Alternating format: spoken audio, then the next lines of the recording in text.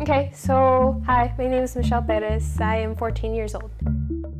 My first year at Working Classroom was in 2012. I was 11 years old. I was going into fifth grade at the time.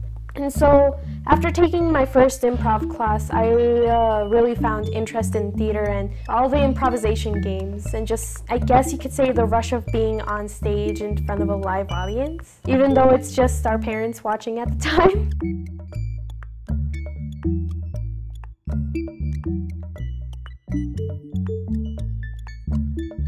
Well, the end production for the education project is that this is a completely new topic that I'm talking about here in Working Classroom. This time, we're talking about education in the entire nation, things that are affecting schools everywhere. And so, I've, I've never actually stopped to think and ask myself the questions that we're asking the people we're interviewing. I was kind of stumped about it at first, but now that I thought of it, I, I know what it is that helped me a lot with my education.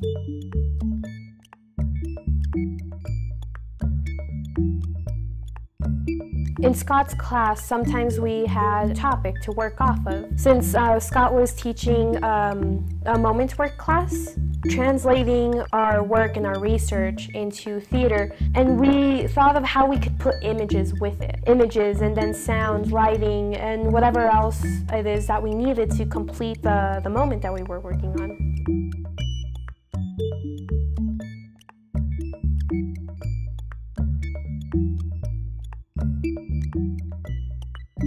And in Melta's class, we were listening and reading to text and we were like pulling out quotes that we really liked from them. And we thought, how many times can we make this quote be a scene? Or how can we make this quote be a scene? Right now, I'm thinking the adults that would watch this would be parents, teachers, people that actually do have something to do with education at the moment.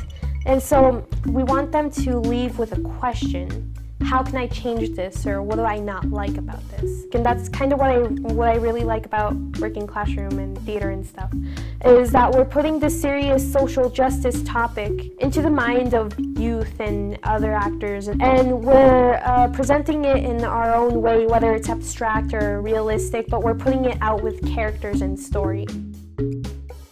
I really want the audience to leave uh, thinking about this the same way that this project got me thinking about this.